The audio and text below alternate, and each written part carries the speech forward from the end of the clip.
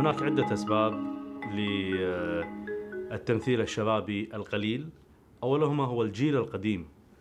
والجيل القديم الذي يظن إلى الآن بأن كل شيء تحت سيطرته ووجود جيل جديد قادم قد يسحب منه آه، القوة.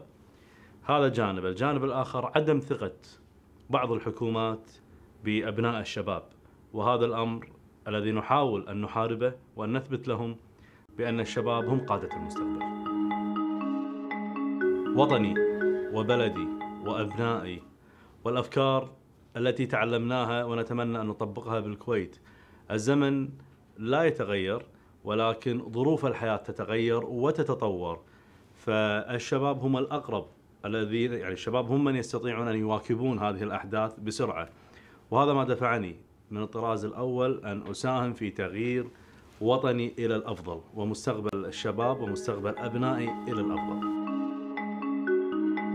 اليوم الحياة تغيرت آه، أو ظروف الحياة تغيرت فالتكنولوجيا اليوم عامل رئيسي في كل شيء وفي جميع التخصصات حتى في الانتخابات.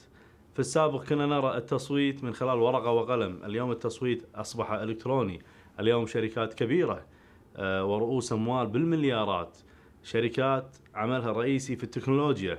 في الابليكيشنز آه، وغيرها. آه، نستطيع أن نستخدم هذه التكنولوجيا لتثقيف المجتمعات. نستطيع أن نستخدم التكنولوجيا لتسهيل عملية المواطن. فالتكنولوجيا اليوم أصبحت مثل الهواء والماء هي مصدر للمعيشة. الثقة الثقة بالشباب. ويجب على الشباب أيضا أن يحققوا قصص نجاح.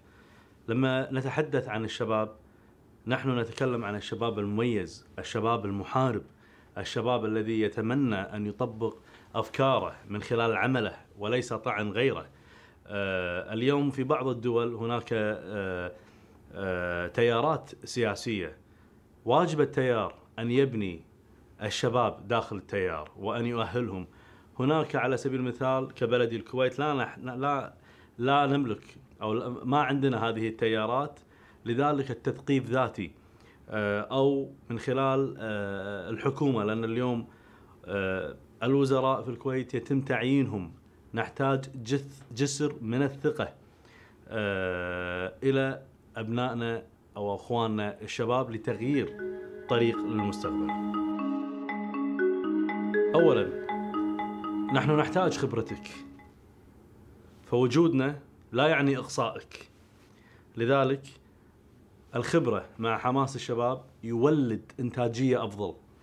لما نخلطهم اثنيناتهم مع بعض راح نحصل أو نصل إلى طريق للمستقبل بشكل أقوى وأفضل.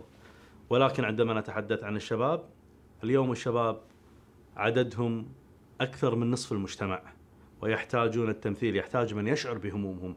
ونحن من نشعر بهمومهم. آه لذلك وجودنا لا يعني إقصائك وجودنا هي لمساعدتك وأن نضع أيدينا ببعض لوطن أفضل. طبعا هذا التغيير الطبيعي للمجتمعات. كل شيء يتطور في المجتمعات. الديمقراطية تتطور والتمثيل الشبابي سيتطور بإذن الله.